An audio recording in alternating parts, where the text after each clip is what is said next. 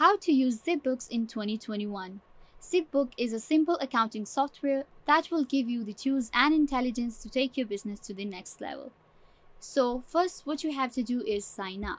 Right here you can see that they're offering different business plans. So what I'm to do is sign up for free now.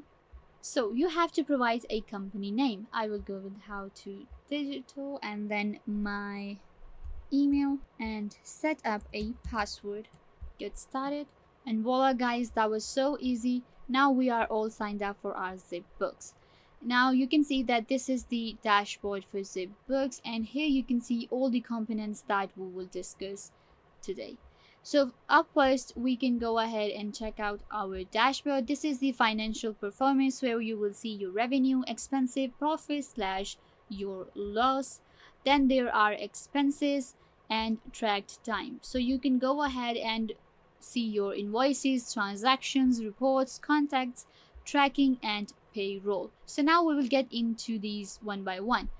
Up first, let's go to transactions. So first of all, let's go ahead and set up our account. Right here, you can go ahead and customize your company name and everything. Name is how to digital and then you can add any of the address. Let's go with this and save. After that you can go ahead and add any of the phone number and then save.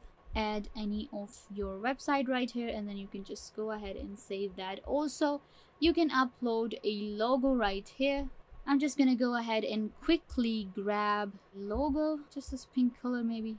So yeah once you do that you can go ahead to your accept payments so now in account you can see there is a company that we just set up. Then we go to accept payments. Here you can add your payment method which is square paypal stripe and lawpay. You can go ahead and select any of these and connect. After that there is a team option which is for the upgrades. Yeah an upgrade is required for this. So we can just go ahead and add any of the teams if we wanted to. Just simply go ahead and add and you can just have to add the email and add the details sent and invite. You can add any of your team members here your accountant your hr or any of the employees that are working for you. You can just simply create a team right here. Then there is a document option. An upgrade is required for this too after that there is location where you can go ahead and add the location of your company. Right now we have just added a random address and this is where it will show. After that there is preferences where you add your general preferences for example your credit card processes and accounting preferences. You can go ahead and fill this out as you want to. After that there is integrations and here you can see that all of the integration that ZipBook is giving you, which is Square, Gusto, and Slack. You can go ahead and connect them right here. After that, there is a subscription option in the account where you actually go ahead and save any of your subscription to the accounting plan this was account let's go to transactions now. And let's see what we have in transactions. Now here we have in transactions we can just go ahead and connect any of the bank. All you have to do is click on connect bank and okay they're saying i'll have to verify my email. But what you have to do is just simply go ahead and connect your bank right here and add the details. Then there is a sales option. In sales you can go ahead and do the same or you can just simply go ahead to add and you will see that there is a custom option. I can go here and customize anything. I can just go ahead with a name and category. Then I can select cash. So uh, in the categories I just added cash. Then there could be any tags if you want to but I do not have any tag right now. So I'm just gonna create a tag and yes you can create a tag like this save and a tag is created and you can just go ahead and add any notes and drop to upload. After that save. And it will be saved right here you can see. And you can now go ahead and do the transactions manually or connect any bank. After that there is an expenses option. It's literally the similar you can go ahead and add right here and go to custom or transfer deposit or expenses. I showed you the custom. Let's let me show you the transfer. What happens in transfer is same you add any amount. Let's go with 50 from account i'll go with cash. To account okay. After that transfer name just go with transfer.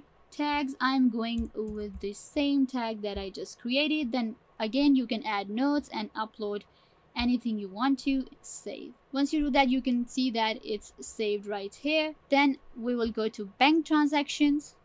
And here you can see all of your bank transactions. You can literally add them right here.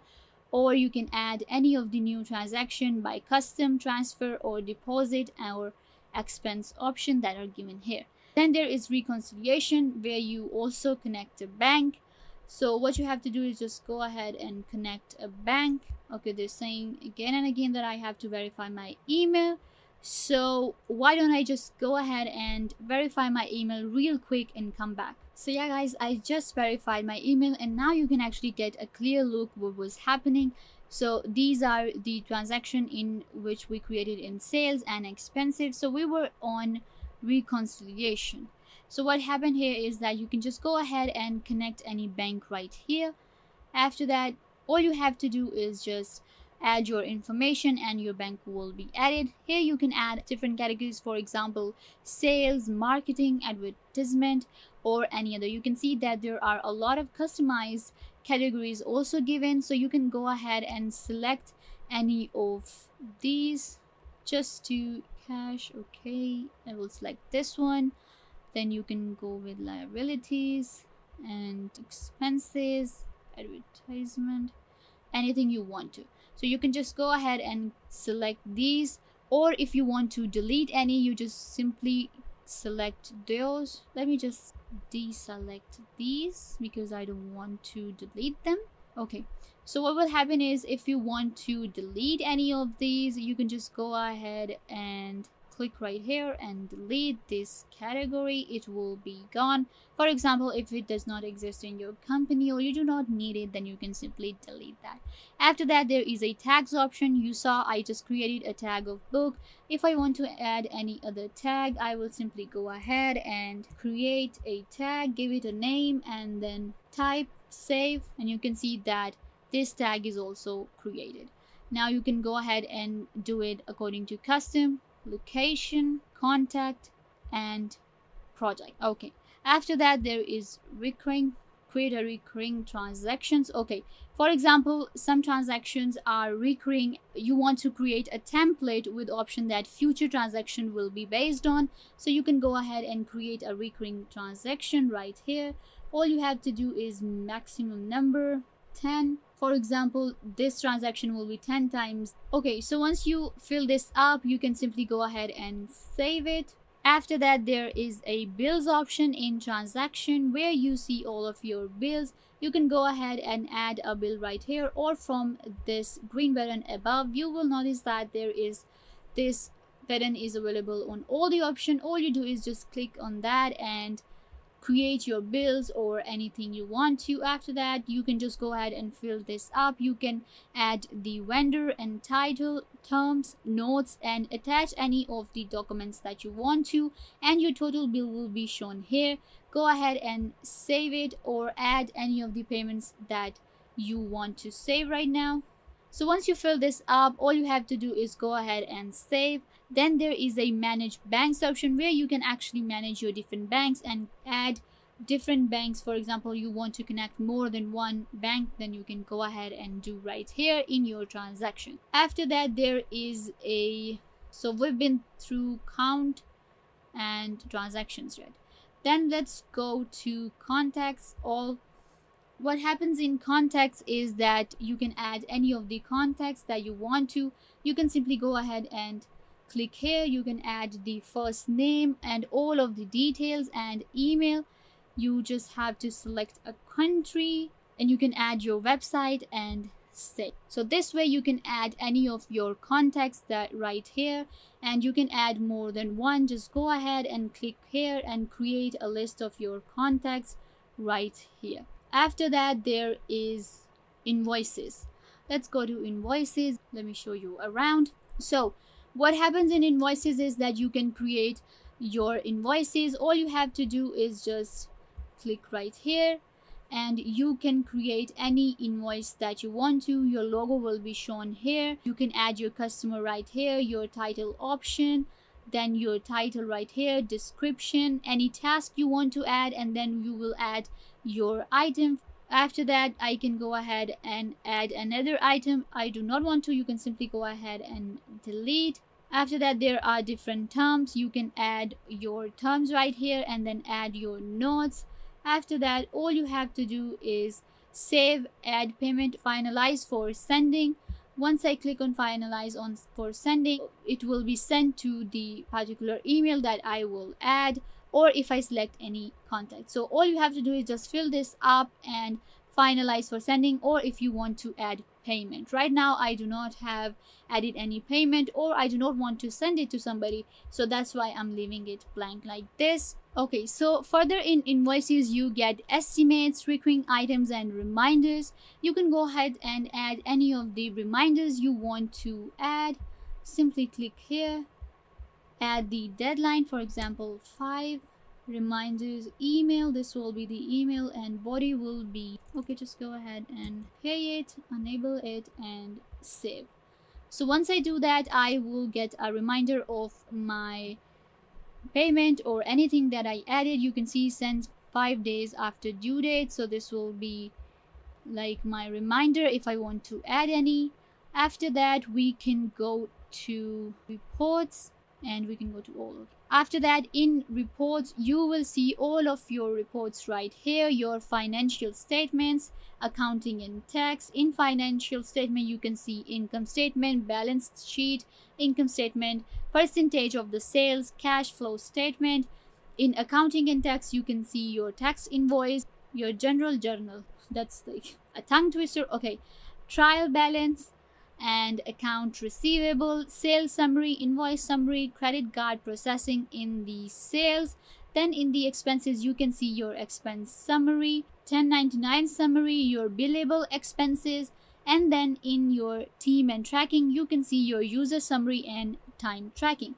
So whatever you want to see the reports on and you want to manage it and control it, you can go ahead to your reports and get all of the summary of everything what's happening in financial statements or accounting and tax, sales, team and tracking or expenses. So all you have to do is just go ahead and it will show you all of the summaries. For example, you want to see the income statement. So you will go here and see your income statement.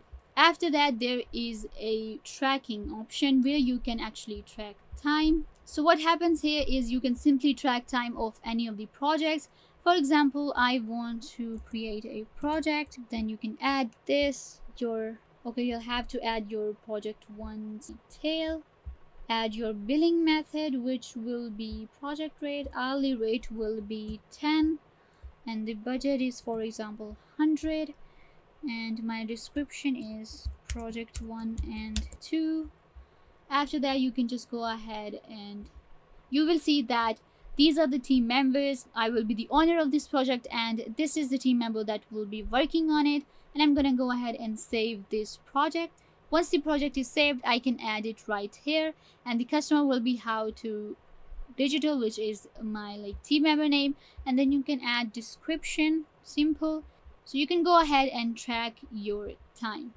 It will start tracking. You can just simply stop it and then it will give you an overview of when a person worked on this. Like for example it, she or he worked for 13 seconds. You will see the time right here and you can actually go ahead and change the users contacts projects start date end date everything will be here after that there is a project option in the tracking where we just created a project you can go ahead and click here and add any new project and add your new members and time and pay. Here you will see that how many hours a person has worked and how much you have to pay them and when it is due for example if I have paid someone I will just simply mark paid or I can mark all as paid.